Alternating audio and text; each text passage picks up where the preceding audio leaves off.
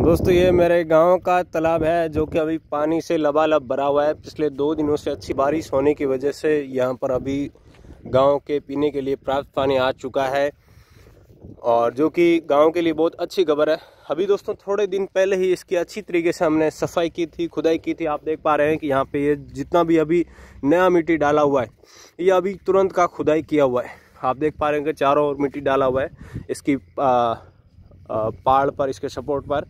तो यहाँ पर ये जो है, पानी करीबन आप ऐसा मान लीजिए बीस हज़ार प्लस टैंकर इसमें भर जाएँगे।